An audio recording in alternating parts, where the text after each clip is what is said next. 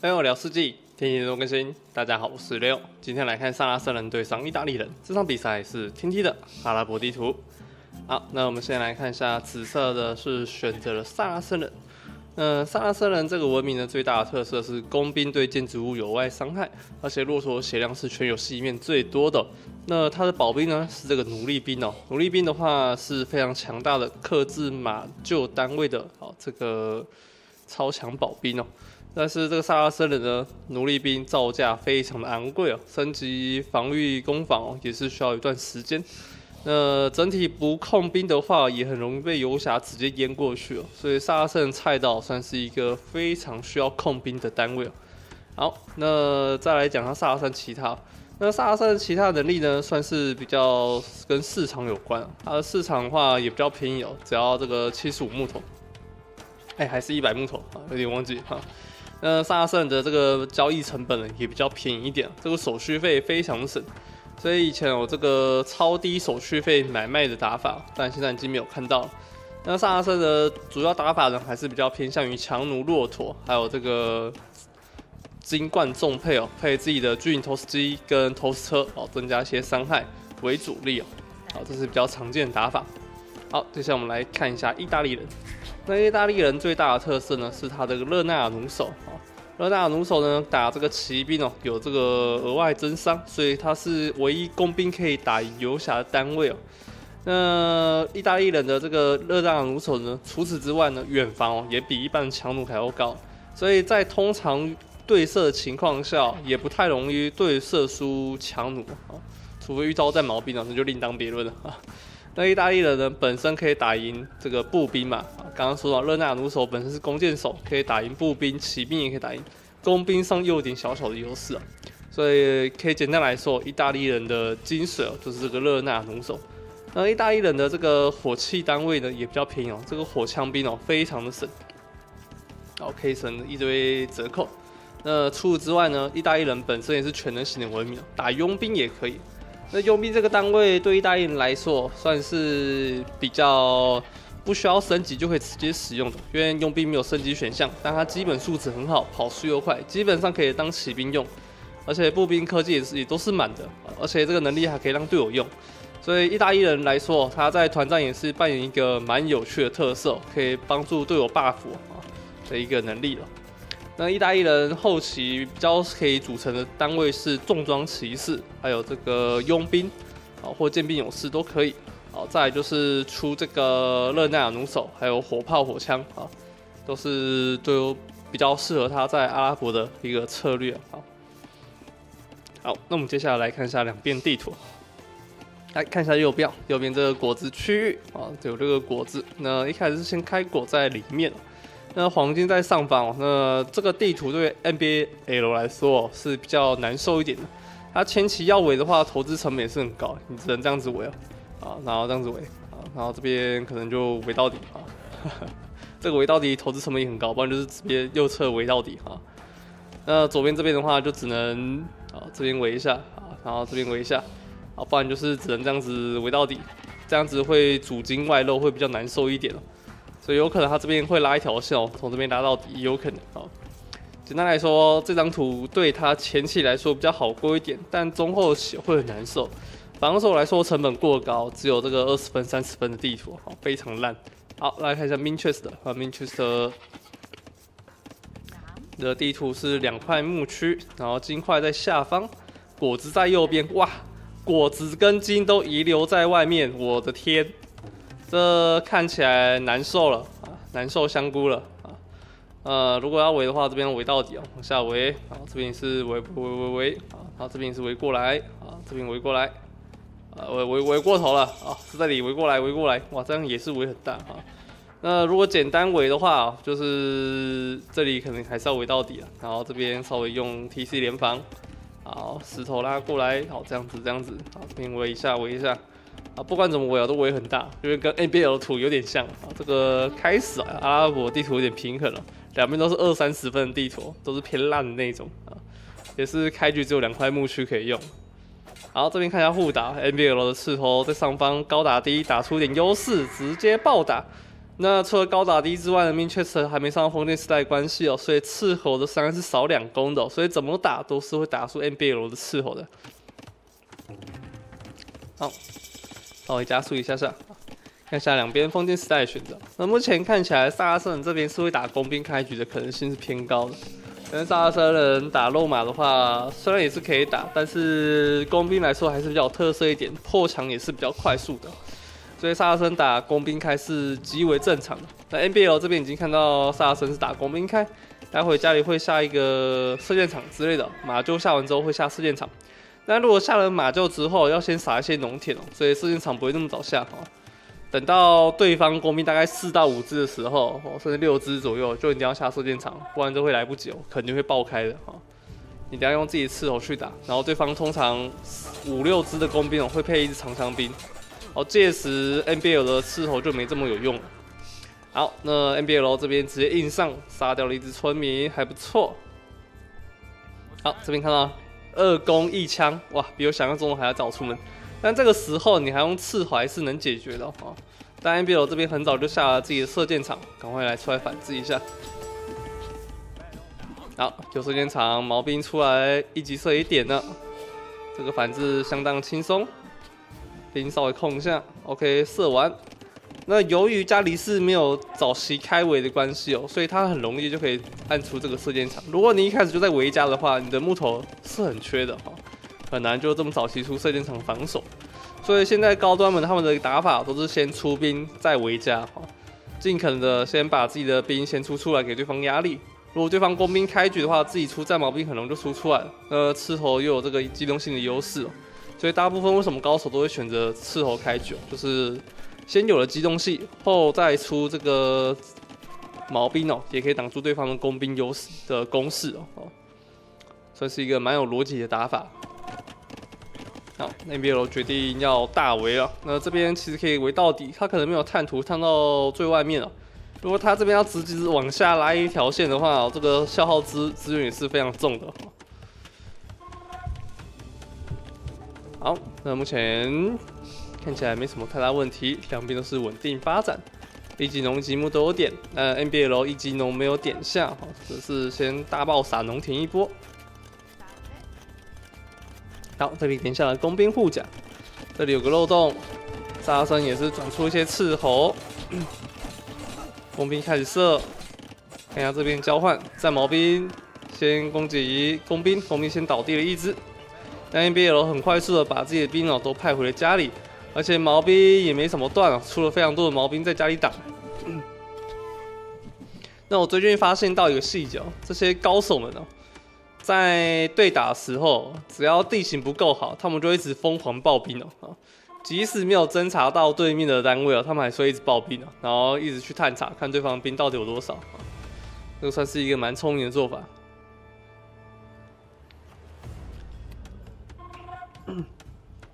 好，那这边生死在两边只差了大概十秒钟左右而已。目前看起来萨拉森人对于这场比赛是比较劣势一点的，因为他的强大单位有骆驼，也没有办法对意大利人做出很好的伤害。只要意大人意大利人不出重装骑士哦，基本上没什么太大问题。好，现在围个一下，然后继续敲。好，打破，这边可能要入侵进去了。但是萨拉森这边已经准备好。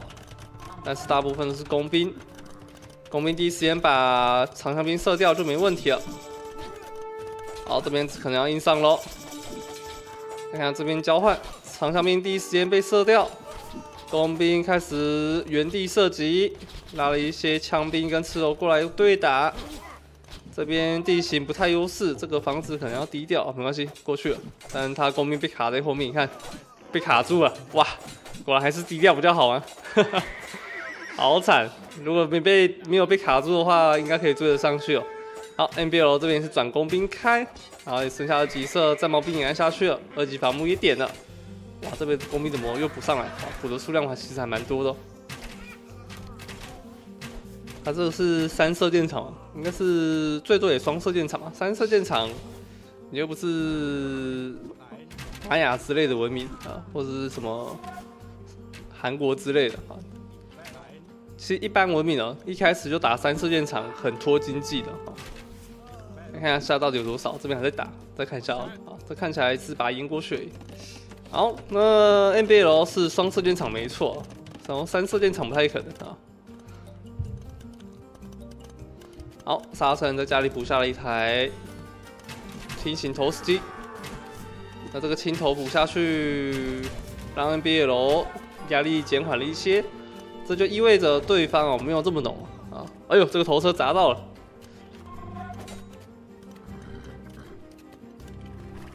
好，NBL 的单位可能要全面被碾压喽。这边不围一下，如果就是我的话，我想要围一下，盖个房子木墙。阻挡对方继续往上走。好，但这边遇到城镇中心，看来也没法继续往上走了。工兵互换，这边要先射对方工兵，能换多少工兵就是多少，就很赚。OK，这边换光，NBL 单位全部损失了。好，这边一级掘金跟一级农田也补下，NBL 这边有在注重经济的部分。好，补下第三个射箭场可以。好，双 T C 之后就可以补射箭场。如果打工兵系的话，那目前打工兵系的话，意大利人跟萨森人算是持平状态，并没有谁特别优势的一个状况。那两边其实都有拇指环，打起来应该也不会有太大的这个战局。现在就是在比拼哦，两边谁的这个资源哦，弄得比较稳定哦，谁就有优势。好。右边有波骑士漏了进来，NBL 右侧门户大开，但对方直接撞到了城镇中心，但是还是杀到了一些村民。NBL 选择直接不管啊，并开始往前想要去侦判。那 NBL 这个想法非常好，由于他自己损失了自己的大军哦，所以才补下第三个射箭场，才能继续把自己的工兵补起来。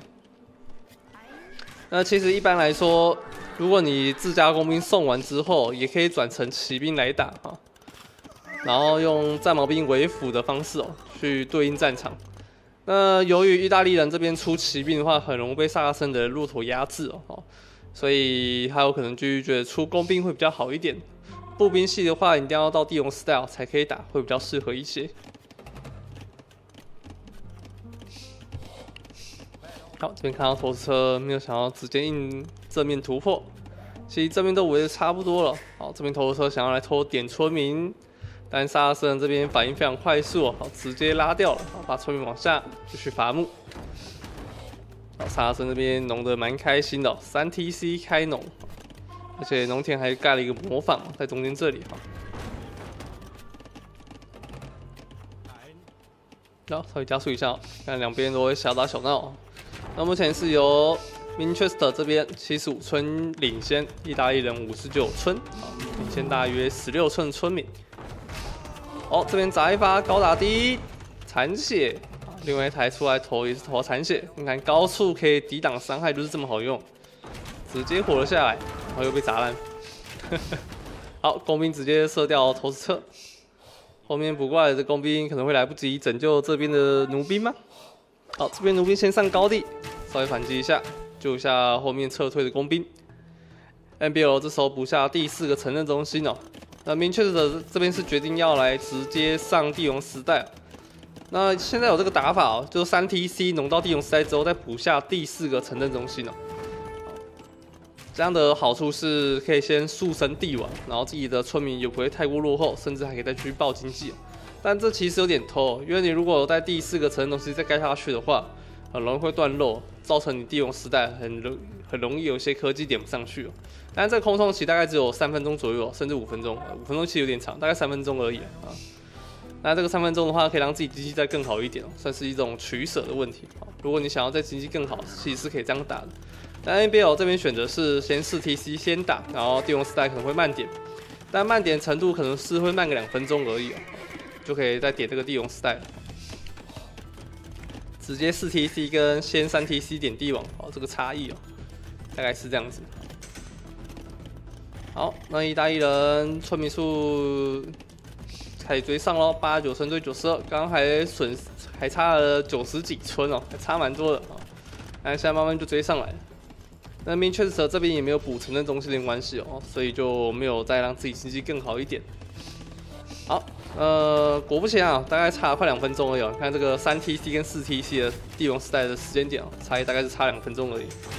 好，这边先激活一个投车，投车可能会被射掉，这边可以直接射掉没有关系，但是会损失一些工兵数量。NBL 这波操作已经打得很不错的了啊。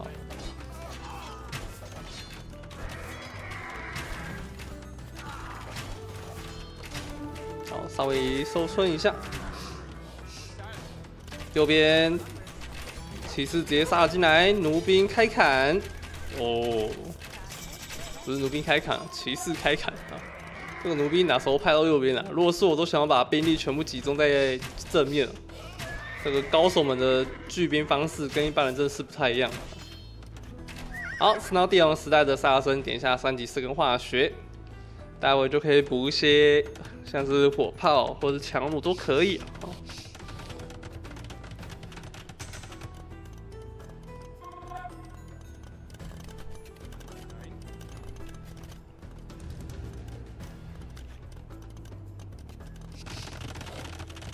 这时候补下了二级农田，用赛还有三十秒。哇，萨拉森这边直接配配一个重型投石车，中投可以可以。呃，确实可以打出萨拉森人的特色，再配下金冠哦，重配哦，这个投石车伤害哦非常的猛。我记得萨拉森人这个重头出来，再加上重配，可以再加一点伤害。我靠，这个打下去直接变中头砸烂，哈哈好猛好猛！打一发换掉可以，记得好像伤害快要到快要到一百的伤害的样子吧，好像是八十级还是九十级？快要接近了哈，重头的时候再配上重配哦，伤害非常猛。那这个重配哦是拿来打游侠单位哦，也是非常好用的。好，那工兵直接往对手家里走，NBL 工兵没有想回家防守。这边收村稍微围一下。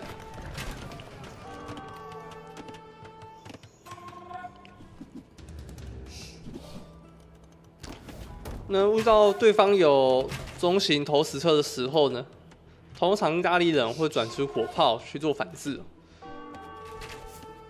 好，这边热那亚弩手也在出。哦哦，火炮出了，OK，NBL 也在出火炮，可以。好，那现在中投这个时间点哦，对萨拉森人是比较有利一点点。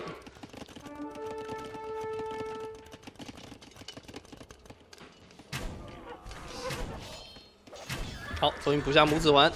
那意大利人这边可能不会上强弩了，直接上热奈亚弩手。那热奈亚弩手也是很害怕火炮跟中中型投石车的，所以待会还是要靠一些马厩单位或是火炮去压制对方工程器哦，会比较好一点。那如果是火炮互打情况下，就蛮吃控兵的，还有多线的观念的。多线可以让对方的火炮操作失误，所以。待会看一下 NBL 会不会打出一些比较特别的多线战术？哎，结果这边怎么摄影呢？他这边打爆对方重头，然后还打爆轻骑兵，这个是什么奇怪的交换呢？工兵居然打得赢这种组合，怪怪的，怪怪的。好，这边点一下精锐热奈亚弩手的升级，热奈亚弩手点了出来，火炮回头打一炮，哇，舒服，一炮一个。哇，再来一个两炮，第三炮打上面这边吧。我们这个村民有点烦，村民手撕火炮应该没机会。好，先点到城堡吗？点错了吧？这个在干嘛？这个干嘛？直接要被射掉了。哇，火炮没有控好，果然多线操作失误了。他们在控左边这边哦。好，NBL 这边直接逐层战法，好，先用火炮砸掉对方的巨型头 C，对方的火炮努力反击，没有打到火炮任何一点伤害。左边城堡可能可以解得掉，这边巨型头 C 可能也要爆掉了。火炮不足的情况下就出巨头，很危险哦，很容易被换掉。好，两台火炮直接压了回去。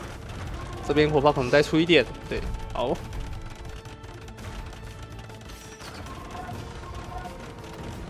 好，火炮先往上拉，这边现在是有高地优势哦。回头打 NBL 的巨型头实际是有优势的，但你要小心对方火炮已经三台了。这边可以考虑先高打低，先砸掉一台火炮啊。这个巨头讲错啊，因为巨头是不会动的，先优先打巨头是重点。好，这边两台巨头全部拿下，一打一人，热那弩手开始反制。虽然数量还不够多，但沙上有出一些战矛兵，好，可以来打这个热那弩手。好，火炮现在打完中重型投石机之后，是重型巨头之后，就可以来打这个城堡或者打火炮。我个人会比较偏向于先打对方的火炮啊，因为打城堡很容易被对方火炮换掉，而且对方已经有三台了，只要再一个失误就没救了。好，果不其然，现在两边都在打双线了，因为双线才有可能让对方的控火炮失误。好，那如果对方火炮没有想要对子的话，就可以偷点一下对方城堡。我还偷偷点村民，太狠！偷打村民。好，那下方这边就是小打小闹，一堆战矛兵跟热那弩手在做反制，火炮也出来挡一下。那这边还有轻骑兵呢，那萨拉山这边出一些轻骑兵好像也可以。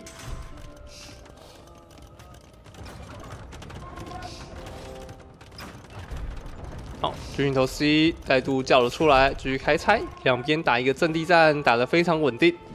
其实这个算是 NBA 的一个成长的一个里程碑吧。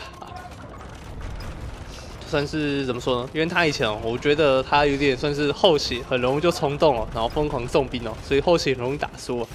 但他现在会打这种阵地战哦，就代表着他也有开始在练习啊，这种比较需要抗衡的时候，比较不会那么冲动了啊。好，点下银冠这个巨盾科技，热那弩手远防会再多加一近防演示哦，而且这个能力可以用在佣兵上。好，终于打掉对方的城堡了。巨型头 C 三两台在左上角，阵地战开始慢慢打回去了。但是下方的部队已经有点全爆开了，这边要再防守有点困难。但热那弩手一直在到处防守。右边这里没有围到底，有点可惜啊。如果有围到底的话，防守就不需要这么痛苦了。啊，这边围一下，围到底这样子。好，热那弩手直接走了出来。看到村民就是一队疯狂输出，哇 m i n c h e s t e r 这边村民死伤惨重，但是还好他是打一百五十村战术，村民数两边都差不多。啊，NBL 这边也是嘴嘴嘴边呃准备也是要到一百五十村的，但是右边这一坨村民直接被轻骑兵抓了个正着，我的天，哇，村民数下降只剩下快一百村。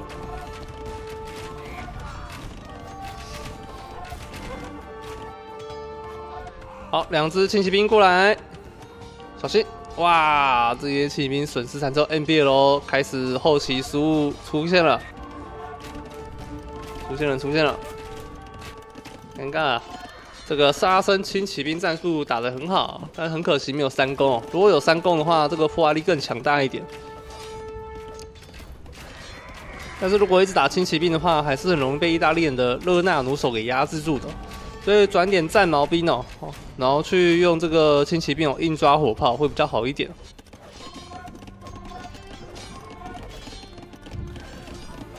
好，轻骑兵持续在屠杀 NBL 的村民，村民数下降只剩下一百一十六村。但 Minchester 这边村民数也是有下降一些些哦，到了一百三十三村。但是 Minchester 这边的资源量还是很不够，因为他刚刚打一个黄金搭配啊，打了一堆火炮跟巨头，黄金库存其实不多啊。虽然没有打热那奴，没有打这个奴隶兵哦，黄金上来说没有那么吃重，那黄金也没有挖干就是了哈。这里还有很多黄金可以挖，一千多。但这块金矿可能要赶快拿下了，不然 Minchester 待会可能会有断金的问题。好，那意大利到了中期之后，这个全能型的优势就慢慢展现出来了。开始升骑兵，骑兵有三级攻，三级防。那热那弩手其实有个小缺点，就是他手比较短，七射程啊。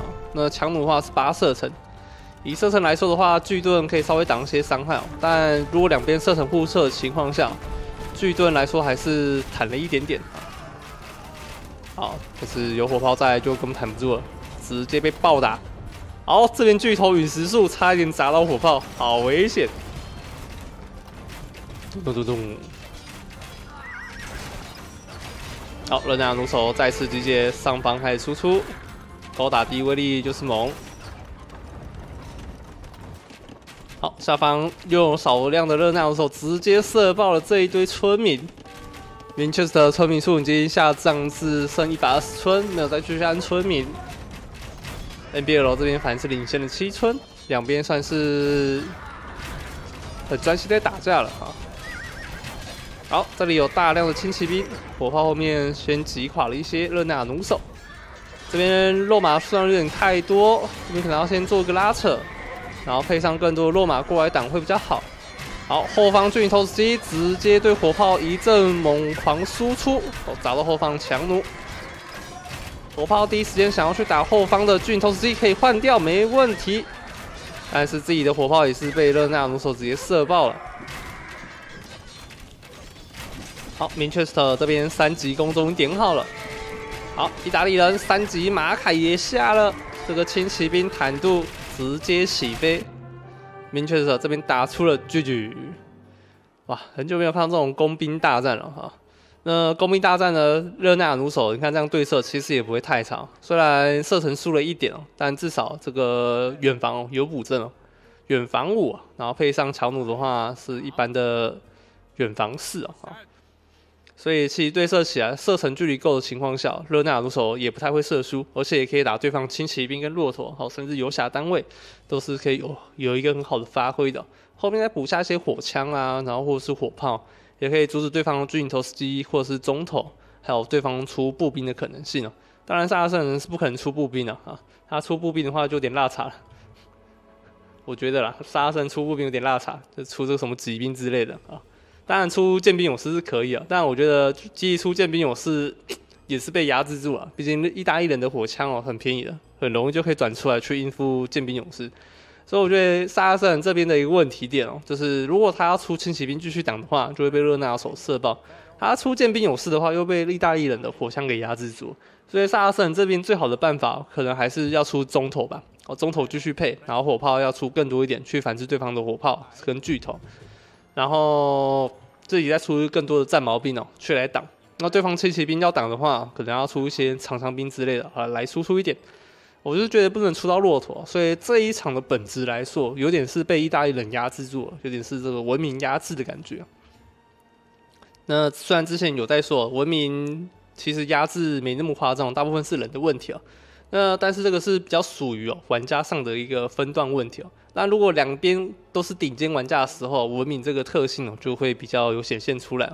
那在我们这个中分段啊或者低分段玩家，这文明的压制力哦其实没那么严重哦。其实大家可以动动脑，还是可以压制的回去的哈。好，我们来看一下经济啊，经济的部分应该是由意大利人这边领先一些些吧。哇靠，结果是明确者这边全赢呢。NBA 的后期经济真的是感觉没有很好，每次看他后期的经济都有点都有点抖啊啊，都没有说大赢那种状况啊。结果这边虽然打赢了萨拉森，结果是 NBA 资源基本上快全输啊，只有四后赢了一千哦，其他都是输的啊。食物还输了快要六千，木头也输了快三千，这个果然一百五十村哦，经济还是比较强大一点。那但是，一百五十寸哦，也是没有办法打赢这个文明上的优势哦，尤其是顶尖选手的关系哦。好啦，那我们今天影片就差不多到这。那如果喜欢这支影片，请记得帮我下订阅，我们就下次再见喽，各位拜拜。